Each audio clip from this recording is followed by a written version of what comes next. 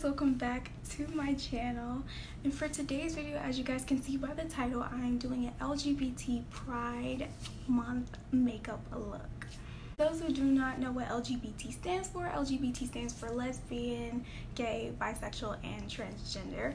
And the pride is just to love and accept who you are who you want to be and who you want to love within this month of June. So you're having a lot of LGBT pride parades going on from LA to New York to Atlanta to Texas to DC, all around the world. Food, music, and just looking good, dressing good, having a good time, meeting new people, and just loving and embracing who you are as a person, who you want to be, who you want to love, and just having a really great party.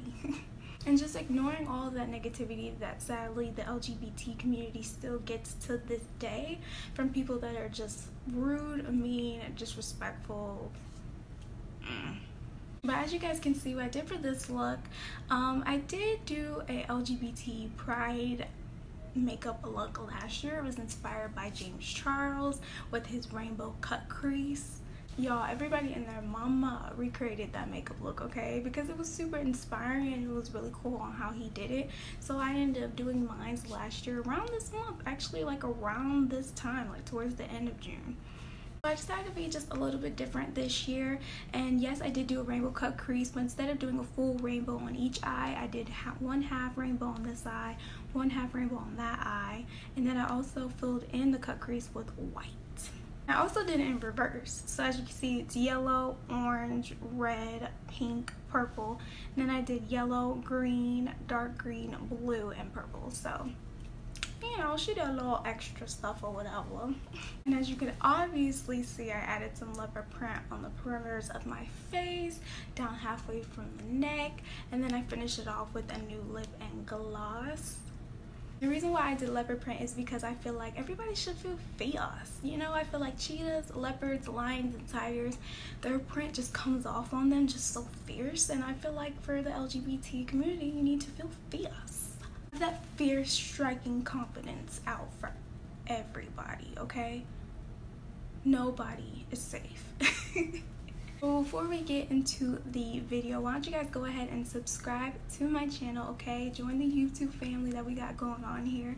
And then why don't you guys also go ahead and hit that notification bell so you guys can be notified every time I upload a new video here on my channel so that way you guys won't miss any good videos like this okay? You feel me?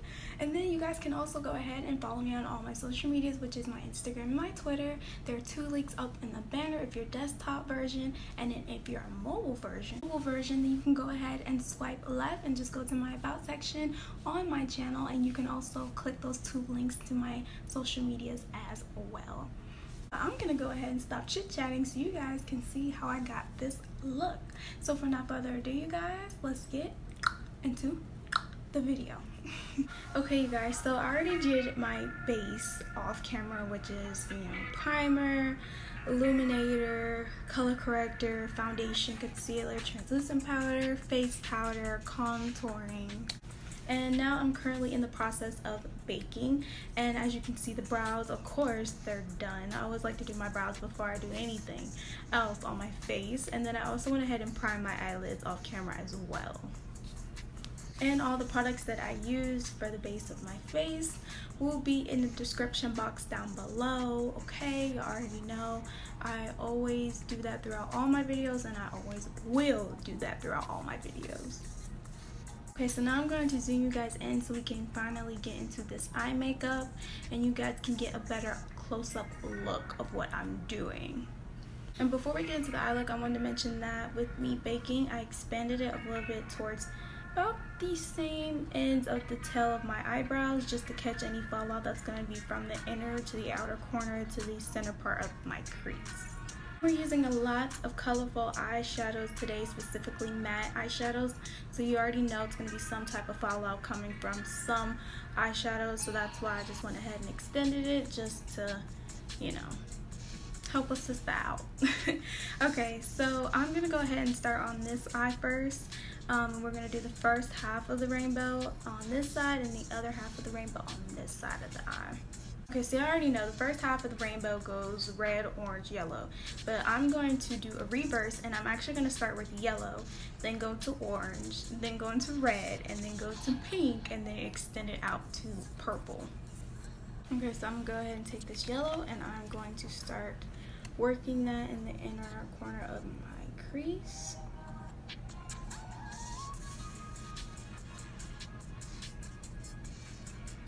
Okay, so now that we have the yellow going on, I'm gonna go ahead and start dipping into some orange. Okay, so now I'm going to take some orange right here.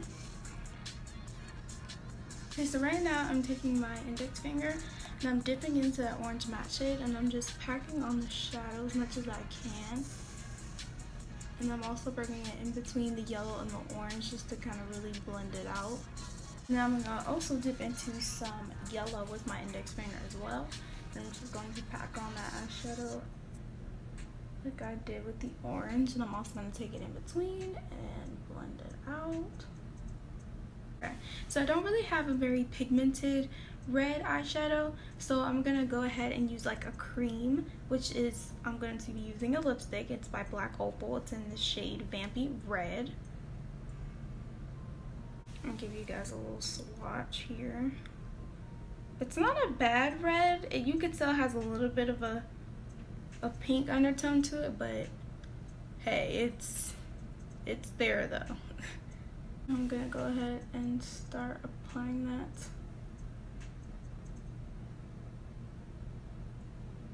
on the lid with a very light touch.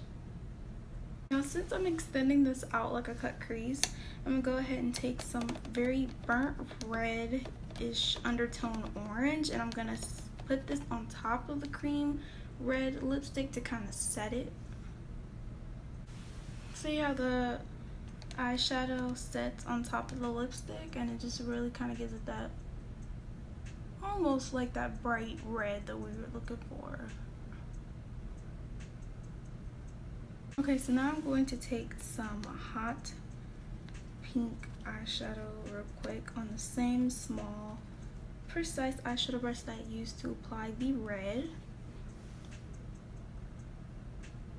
Okay, so now that we have the yellow, orange, red, and pink intact, now we're going to go ahead and dip into some purple. And I'm going to take that same small, precise eyeshadow brush. Okay, so now I'm going to take some of this Maybelline Better Skin Concealer that I have on the back of my hand. I'm going to dab it with this flat, precise eyeshadow brush. We're going to go ahead and carve out our cut crease. Okay, so now I'm going to take some of this Maybelline Better Skin Concealer that I have on the back of my hand. I'm going to dab it with this flat, precise eyeshadow brush. We're going to go ahead and carve out our cut crease. Okay, so we're gonna go ahead and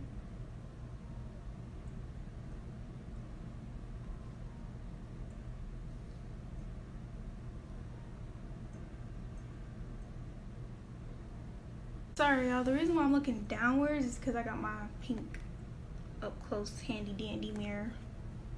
But I'm gonna try and keep it up so you guys can see what I'm doing. got it halfway through. But now we gotta finish. See, I kind of drew a line, a little sketch line of where I want my cut crease to end because we don't want to take over the whole entire eye look or else it's gonna have all the colors that we did disappear. Okay, so I went ahead and finished the rest of it off camera, pretty much just angling it the way I want to.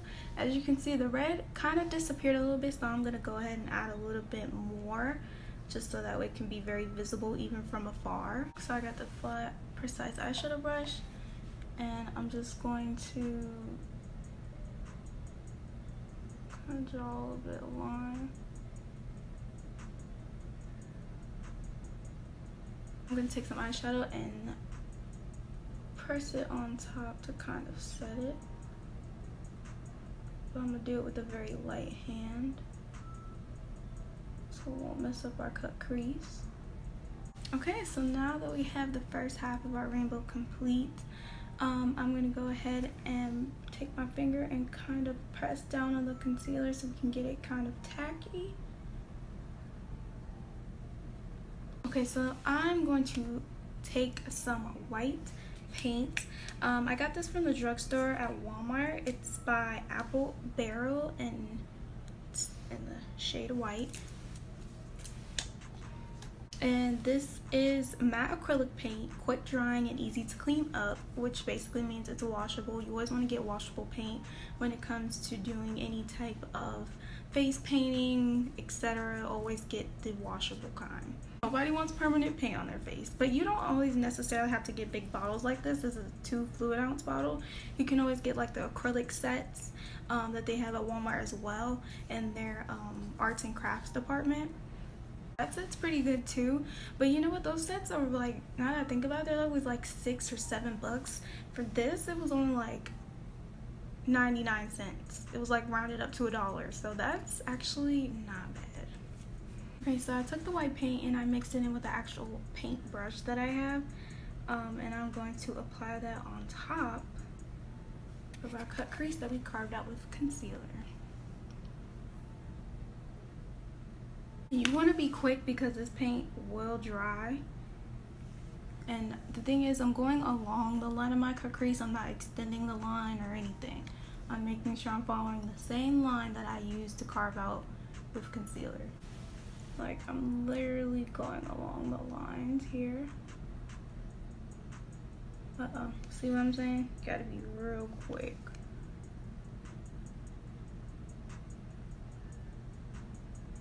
Okay, so now that we have it carved out, I'm going to go ahead and close my eyes and I'm going to take my small handy dandy mirror and I'm going to fan the paint so it can dry.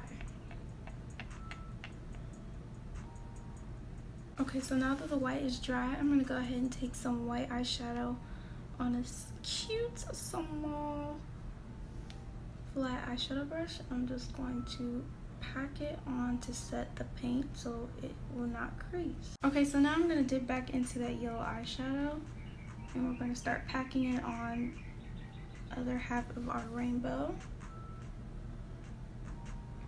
Just start blending it out. Okay, so now that we have on enough yellow, uh, it's time to dip into that green eyeshadow. Taking a flat, precise eyeshadow brush start packing it on. Okay, so now I'm going to take my finger and I'm going to dip into this beautiful blue eyeshadow from the True Naked Jewels palette. Start pressing that in. And as you can see, I extended the blue out like I did for the red, but I'm actually to take a little bit of dark green and I'm going to blend it in between the blue and the green so it can kind of have a nice pretty transition color going on. Okay, so now I'm going to take some purple and I'm going to edge my way up in there.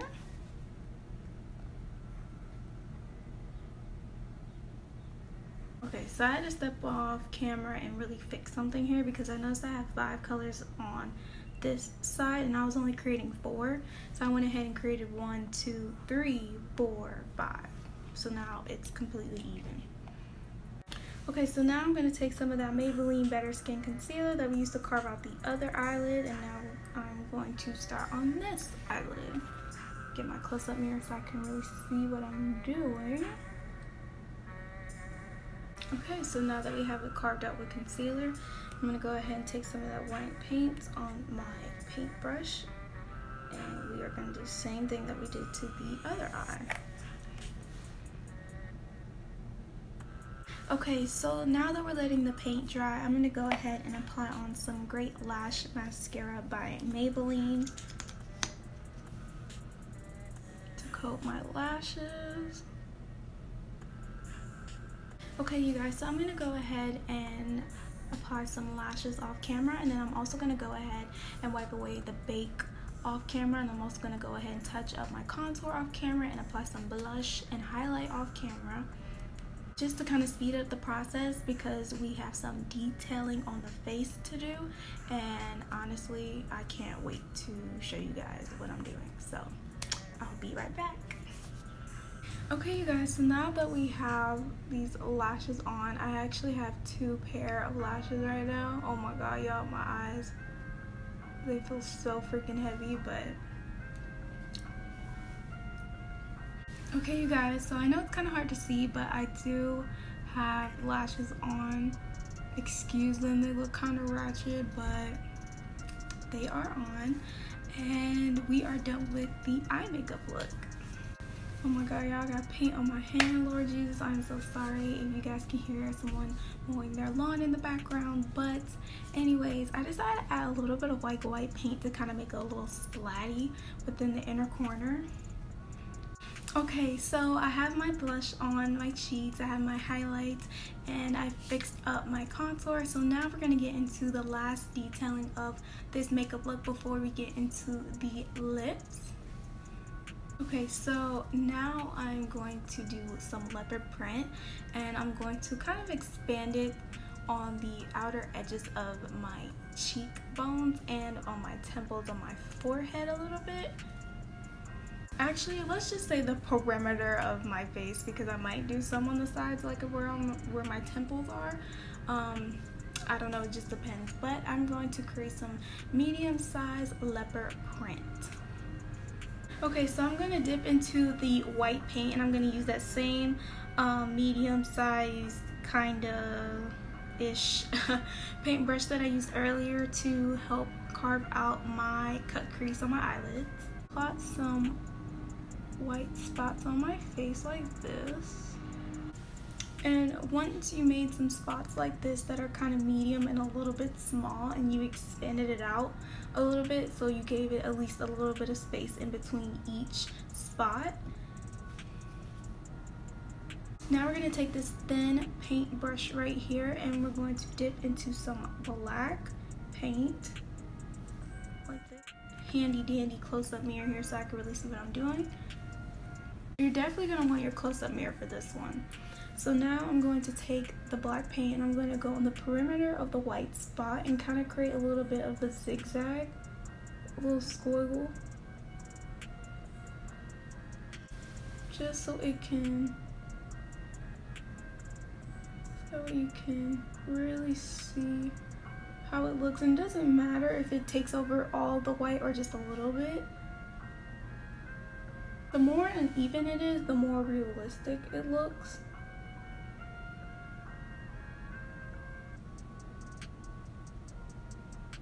And you can also add little dots in between as well.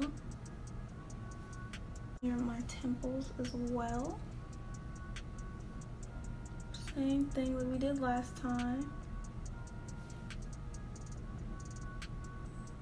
and here is what the first side looks like now like i said you don't have to make it medium size you can make it as small as you want you can make it as big as you want you can put more than just a couple around the perimeter of the face like i did okay and this is first half of the face done with leopard print. And you don't have to have it a medium size like I decided to do. You can always go to either a smaller size or a bigger size. But your girl is going to go ahead and do the other side of the leopard print off camera and then we'll come back and we'll get into the lips and then we can finish off the look. Okay you guys, so I am back and I went ahead and I lip lined my lips using the Nicka K lip liner in the shade dark brown. Now when it comes to lips, I feel like you can do three different lip colors first lip color that I think will go well with this look is the Queen Major Shade Collection by CoverGirl. This is a liquid lipstick and it is in the shade Rebel. Now this is giving me mauvey pink nude realness right now. See? It just goes well with the look. It complements it very well. So you could wear this color if you wanted to. By the way, it's a complete dry matte liquid lipstick. It's not a satin finish. It's just completely dry. And you can also add some clear gloss on top if you want to be a little extra, you know what I'm saying?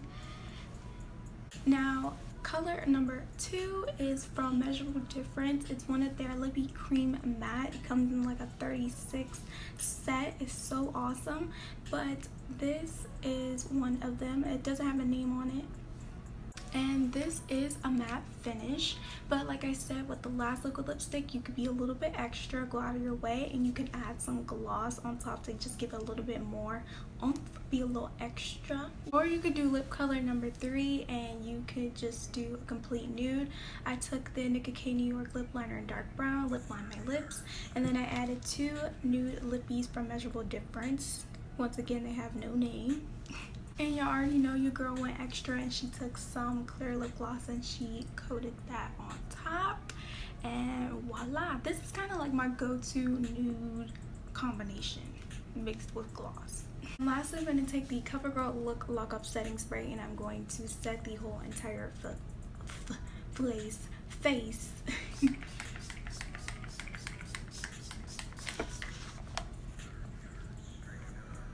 guys, and that is the end of this LGBT Pride makeup look. I hope you guys enjoyed it. I hope you guys really learned some cool new techniques on different ways within creativity. From the cut crease, even though you've probably seen a bunch of videos of people doing a cut crease with some white, you know, eyeshadow, um, white liquid liner, uh, pencil liner, But have you seen anybody do leopard print with it though? I don't think so, okay?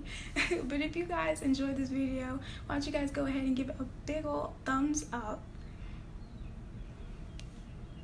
And comment down below any other makeup look suggestions that you guys would like for me to do here on my channel. And also comment down below if you liked this look, if you liked what I created for you guys today. Once again, you guys, LGBT month is time to honor and celebrate with people who just want to be who they are, people who want to love who they love without any discrimination, without anyone judging them, without anyone being disrespectful. It's just all about having a good time, good spirits everywhere, enjoying yourself, enjoying each other's company, understanding one another, and accepting one another as well. But also don't forget to subscribe to my channel, okay? Join the YouTube family. We are growing and growing, which I really do love and appreciate. And don't forget to hit that notification bell so you guys can be notified every time I upload a new video here on my channel as well. And don't forget to follow me on all my social medias, which is my Instagram and my Twitter. And that's pretty much it for the video, you guys. Like I said, I hope you guys liked it. hope you guys enjoyed it. And I will see you guys next time. Bye.